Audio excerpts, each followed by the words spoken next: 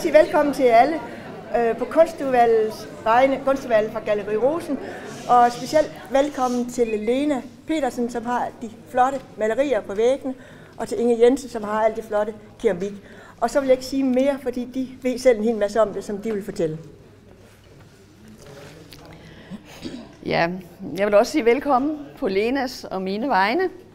Øh, vi har fordelt rollerne lidt, øh, så Lena hun øh, Øh, sørge for jeres øh, velfærd, og jeg skal så sørge for, at I får lidt information om udstillingen her. Vi har placeret os her, fordi det er skæringspunktet, og øh, billedet, som I ser her, er jo malet af Lena, som samtlige billeder, og under har jeg så placeret mit rav på porcelænslæger. Og når jeg nu har gået og kigget på udstillingen, så, og jeg har lagt mærke til, at jeg selv er kommet i sort, og Lena hun er meget farvestrålende, så kan jeg godt se, at det passer sådan set meget godt til forskellen. Lena har alle farverne, alle de store formater, al dynamikken, og jeg har de små ting, som man næsten kan gå med i hånden, og det eneste, som lyser op, det er så skallerne og ravklumpen.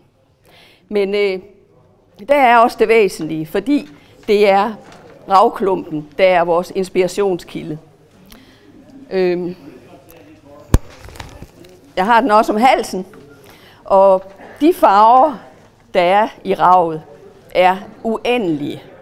De går lige fra, hvis vi nu ser på Lenas farveskala, fra de mørke, øh, fra det sorte, over det røde, til det orange, til det gule, til det grå, til det brune. Der er hele farveskalaen. Og som I kan se, så er Lena god til at præsentere dem. Vi øh, tog udgangspunkt i ravet, fordi det var der, vi havde fælles øh, interesse, kunne vi sige. Vi er begge to mennesker, der godt kan lide at gå ved stranden, og som er fascineret af stranden og af alt det, man finder ved stranden. Øh, da vi aftalte, at vi skulle lave udstillingen sammen, så skulle vi jo sådan lige finde ud af, hvordan vi egentlig fik det etableret.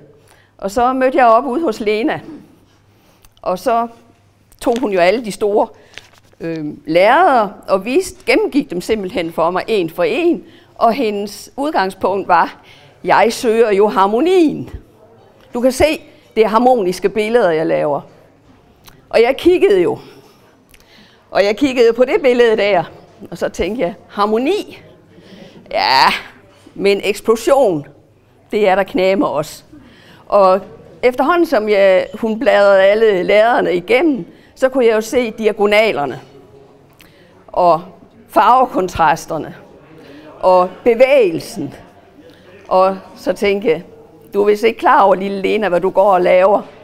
Og jeg forholdt hende det så, Lena, det er jo dynamik i dine billeder. Ej, siger hun, det er der harmoni. Og det billede passede egentlig godt til, hvad jeg ellers ved om Lena. Vi arbejder jo i åbne atelierdøre sammen, og der farter hun rundt og er med alle steder. Og det passede jo med billederne, og det passer med øh, den proces, vi har været igennem, da vi skulle lave udstillingen sammen. Dynamik og dynamik. Men hele tiden for at finde ud af og finde frem til den harmoni, som hun jo søger. Men det er sjovt, vejen hun når frem til det synes jeg.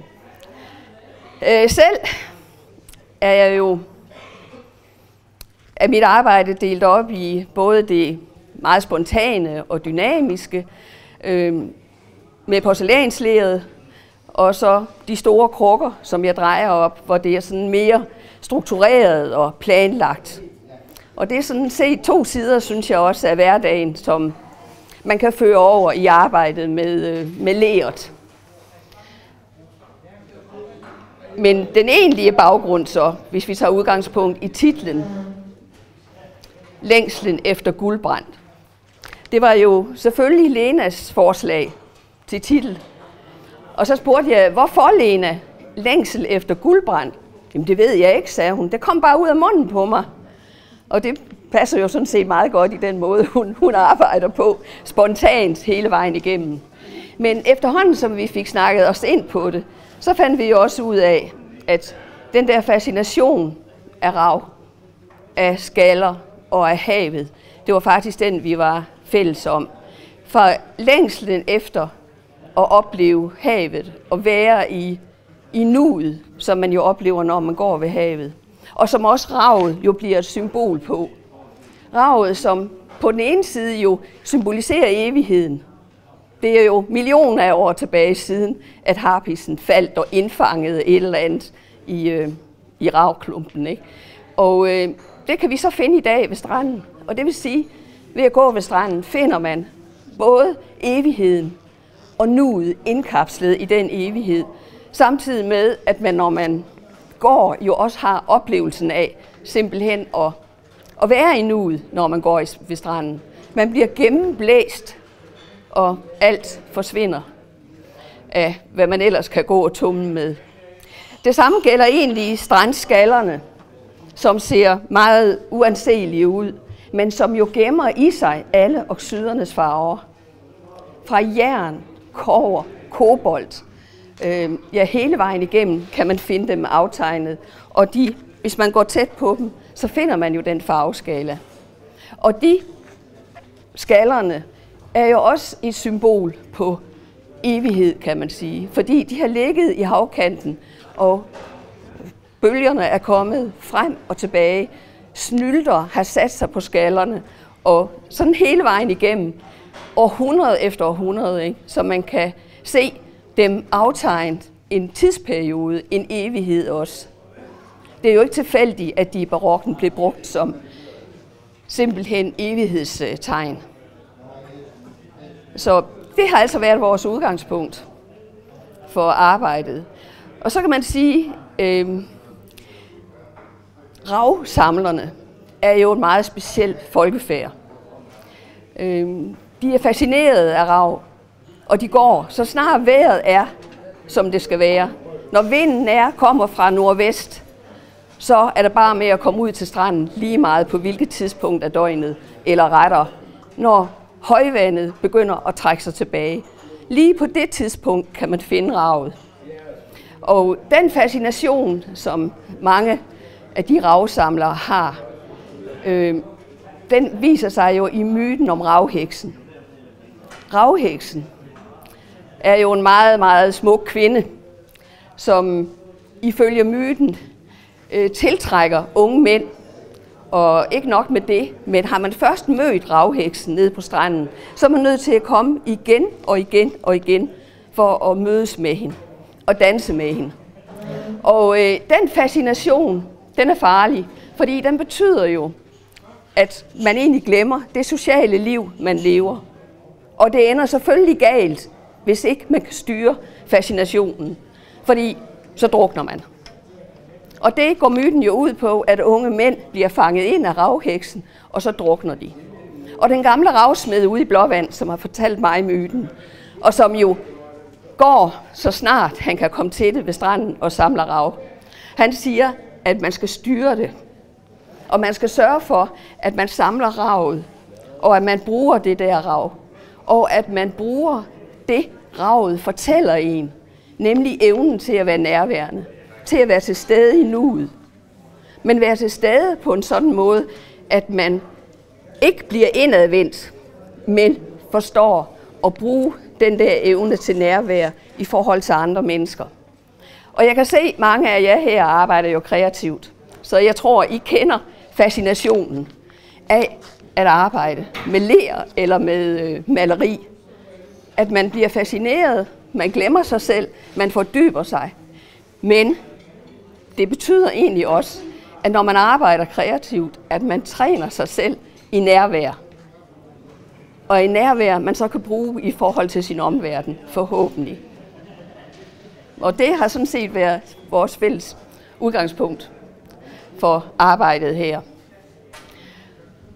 Ja, og så tror jeg sådan set, jeg vil sige, the bazaar is open. Men øh, forhåbentlig, det er sådan lidt lettere drinks, vi får her. Og der er frugt og kransekage. Så værsgo.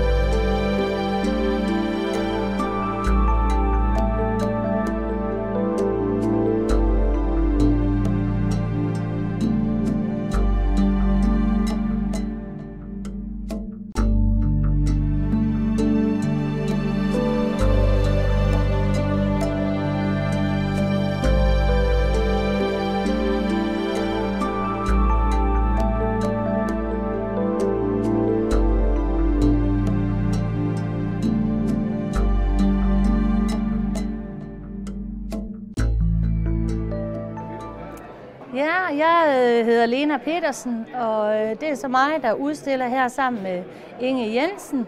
Og øh, mine malerier, de øh, opstår spontant. Øh, det vil sige, når jeg går i gang med sådan et billede her, så, øh, så ved jeg ikke, hvad det bliver til. Jeg, ved, jeg har ingen idéer. Jeg starter for eksempel med at, at komme noget... Øh, orange på og noget gul, fordi de klæder hinanden, og så kører det, og så lidt sort for, for at få en dynamik. Og øh, jamen, så bliver det hele kædet sammen, og, og sådan, jeg forsøger at finde sådan lidt en harmoni. Øh,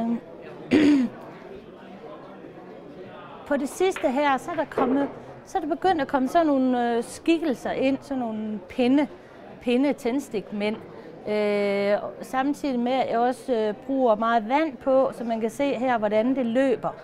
Øh, det er noget, der kommer mere og mere ind i mine malerier. Her, her er også de øh, tændstiksmænd her. Og øh, så kører jeg meget øh, i de øh, varme, brændte farver. Øh, man kan sige, lige for de her seks billeder, der hænger her, det er jo Inger og jeg, der har haft temaet øh, omkring ravet. Øh, længsel efter guldbrand kalder vi det her tema, vi har lavet til den her udstilling. Øh, ja, det er akryl, jeg bruger, og det har jeg arbejdet med i rigtig mange år. Øh, fordi da jeg startede med at male tilbage i 78, der øh, brugte jeg olie. Og øh, så kom jeg på seminariet, og der mødte jeg så, der stødte jeg så på akrylmaling, og det har jeg simpelthen brugt siden. Det, det kan noget, som olien ikke kan, og selvfølgelig også omvendt. Men øh, det passer rigtig godt til mit temperament. Det tørrer nemlig hurtigt op, så man kan hurtigt komme videre. Og man kan plaske en masse vand på. Og man kan tage det hele af igen, hvis det skal være. hvis vi lige går herhen, så ses det også meget tydeligt med de her løbere. Øhm, det, man kan jo altid gå ind og tolke på et maleri bagefter. Øh, fordi de her mænd, de er jo tydelige nok, og der er også en her. De her løbere, der kan man se, hvordan øh, at de kommer ind her. Det er så nogen, der er lavet, eller i hvert fald pyntet på. Og øh, de, der kan man godt tænke, det er nogle lange ben, han har, ham der. Og, og sådan kan jeg jo godt, når først at der begynder at opstå noget, så finder jeg, så kan jeg finde et eller andet i maleriet, som jeg så vælger at fremhæve. Det her billede, der kan man øh, især se, hvordan at jeg arbejder med vandet. Fordi øh, en farve på og vand på, og simpelthen trække det ud. Træk det ud næsten til det bliver gennemsigtigt. Øh, og på den måde, øh, med alt vandet, så kan, kører jeg også farverne ind i hinanden. Her, hvor det går, går fra gul til hvid og over i det turkise. Øh, og så simpelthen lave de her med sparklen, jeg bruger for det meste sparkel, lave de der streger, eller det er jo sådan set kanten af sparklen, øh, der ligesom, hvor de her streger, de kommer. Øh, ja, hvor her er farven helt mættet, og andre steder er den helt tynd og trukket ud. Det kan jeg godt lide.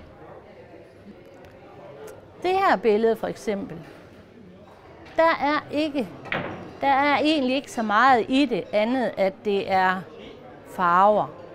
Det, det er nogle farver, der gør mig glad. Den måde, de er sat sammen på, øh, det giver mig energi at se på det her billede. Selvfølgelig vil man kunne finde øh, tilfældige ting, men jeg har, jeg har ikke ligesom fremhævet noget, for eksempel nogle øh, figurer, de der tændstikmænd. Dem er der ikke nogen af i det her billede. Det er simpelthen et, et flammehav, kan man sige. Øhm, det kan da godt ske, at jeg på et senere tidspunkt vælger at køre nogle små mænd ind, eller noget andet. Men indtil videre, så ser det sådan her ud, og det, det kan jeg gå og kigge lidt på det. Jeg maler sådan i perioder, og så kan jeg male morgen, middag og aften. Øh, gerne om morgenen, det er der inspirationen kommer, uden jeg sådan, den kommer fra min søvn og ud i min arm og min hånd. Øh, den, øh, for jeg ved jo ikke, hvad det er, at jeg, men, men det er det der, jeg har energien, kan man sige. Øh, jeg er jo formand for Åbne Atelierdøre her i Silkeborg, og det har jeg været i, øh, hvad, fire, fire-fem år. Måske er det det femte år, vi skal i gang med, det tror jeg det er. Og øh, det er jo en gammel forening. Vi har 25 års jubilæum, øh, ikke i år, men næste år.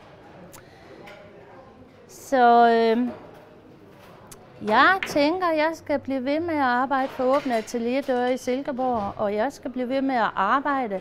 Og øh, jeg vil rigtig gerne have nogle øh, gode udstillinger. Øh, det, er også, det er også det, der driver mig, at, at, at få, øh, få lov til at udstille et sted. Så øh, det driver mig, fordi så tænker jeg igennem, hvad kan jeg tage med til den udstilling, og kommer det til at hænge sammen. Hvis ikke det kommer til at hænge sammen, så er jeg jo nødt til at, at skal, skal lave noget, så det kommer til at hænge sammen. For jeg kan godt lide det der flow, øh, som man også øh, ser her på udstillingen. Altså jeg, jeg synes, at det er et flow. Det er et flow i farverne. Øh, så øh, ja, så vil jeg da gerne, at der er nogle øh, malerier, der kunne skifte adresse sådan en gang imellem. Det gjorde heller ikke noget. Men øh, ellers er det udstillinger, jeg satser på.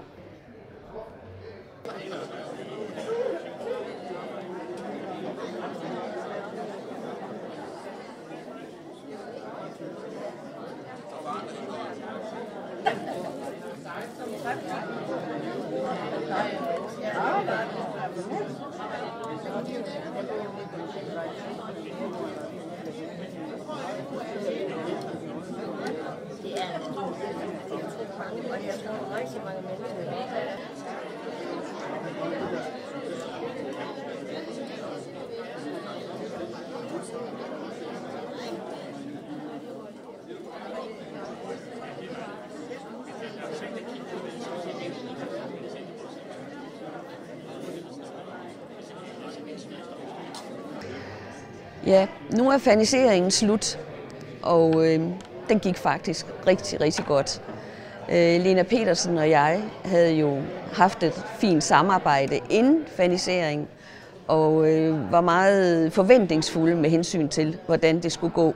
Fordi vi jo netop havde valgt at lave et samarbejde. Det vil sige, at vi begge to øh, ligesom skulle forlade øh, det spor, vi var inde på, og så finde et fælles spor at arbejde på. Og det lykkedes.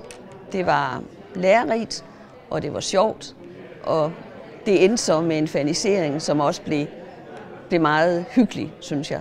Og måske lidt usædvanlig, fordi øh, Lenas øh, talenter jo også går i retning af at, at arrangere. Det er hun ret god til. Øhm, faniseringen gik også godt på, på anden vis øh, med hensyn til salg og med hensyn til besøgende. Der var jo rigtig mange mennesker her.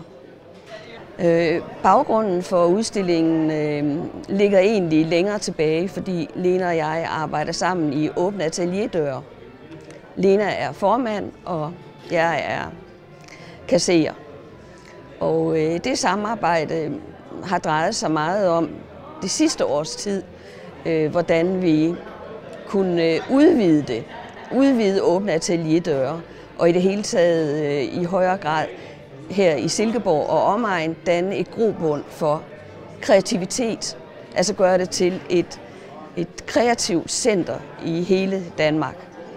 Det er måske store mål, men øh, vi har mange planer om det, og vores samarbejde her skulle være starten. Altså, hvordan kan kunstnere i højere grad arbejde sammen? Hvordan får vi nye kunstnere med? Og hvordan kan vi udvide aktiviteterne og på den måde være med til øh, at gøre Silkeborg til et kunstnerisk eller kreativt kraftcenter. Det, det var sådan set øh, starten på, på det hele og på udstillingen her. Min egen baggrund. Øh, jeg opvokset i Esbjerg ved havet, og øh, det præger nok meget øh, det, jeg arbejder med. Øh, min far tegnede, og det gjorde jeg også selv. Og så øh, siden blev jeg kendt med i dansk og i kunsthistorie og i design. Og så har jeg arbejdet i mange, mange år som, som gymnasielærer på Ikast Brande Gymnasium.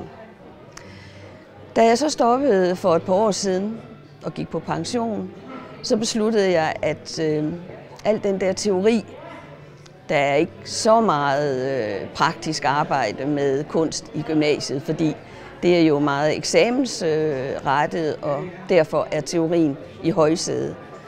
Så øh, sprang jeg ud og begyndte at arbejde med keramikken. Og det sted, som egentlig inspirerede mig mest, det var så Soring, det gamle lervarefabrik ude i Soring øh, som nu er et øh, kreativt værksted, øh, og hvor der er øh, kursuscenter, og ja, i det hele taget en enorm kreativ aktivitet omkring øh, ler. Der sidder jeg i kunstnergruppen øh, Krukkerne, og vi øh, arbejder sammen, og vi laver udstilling sammen. Samtidig har jeg så mit eget værksted hjemme. Øhm, at jeg gik øh, på pension og stoppede med undervisning, kom jeg så til at betyde øh, en åbning for det kreative. Og det sammen med inspirationen fra, fra Vesterhavet. Jeg har sommerhus ude ved Vesterhavet, og er der meget, og går meget på stranden. Det gjorde så, at, at jeg kom til at arbejde med porcelæn og porcelænsleret og arbejde med inspiration fra stranden. Men selvfølgelig er jeg meget påvirket også af, af min uddannelse af, som kunsthistoriker. Og min, ja, min fascination af den kreative proces i det hele taget, fordi øh, jeg jo har lært gennem erfaring med unge mennesker, hvor meget det betyder at få lov til at arbejde kreativt. Hvor meget det øh, åbner op for dem selv, og hvordan mange blokeringer egentlig forsvinder, Og det hænger jo så selvfølgelig sammen med igen, at i det øjeblik, man er inde i en kreativ proces, så øh, er man i nuet. Alt uden for en er væk. Man er bare nærværende. Og det er måske det, øh, jeg finder væsentligst ved at arbejde kreativt. At det er en træning, en øvelse i at være nærværende, i at være til stede i nuet. Øhm, og for unge mennesker er det ret væsentligt, fordi mange af dem har mange blokeringer. Altså mange unge mennesker har forudfattede meninger om, om dem selv, øh, og mange har mindreværkskomplekser, selvom det måske mange gange kan se ud som noget andet. Og skal de lære noget, eller skal man lære noget, så skal man bag om det. Så skal de væk, de der øh, faste opfattelser, man har, for at man, at man kan komme ind til sig selv. Og øh, kunst og arbejdet med, kun, arbejdet med kunstneriske processer, det hjælper med dertil. Netop fordi man bliver nærværende. Og så kan man sige, jamen selvfølgelig er det væsentligt at arbejde med sig selv, men det er jo også væsentligt at komme ud igen. Så det med at øve sig i at være nærværende, betyder også, at man øver sig i egentlig at være til stede, men også at være åben for det, der sker ude i verden. Altså blive en bedre borger også, og samspiller med andre mennesker. Og det er sådan set været, været målet for, for min undervisning øh, i kunst. Og det er så min, mit mål også øh, i dag for mit eget arbejde, at i det hele taget være bedre til at være til stede i nuet.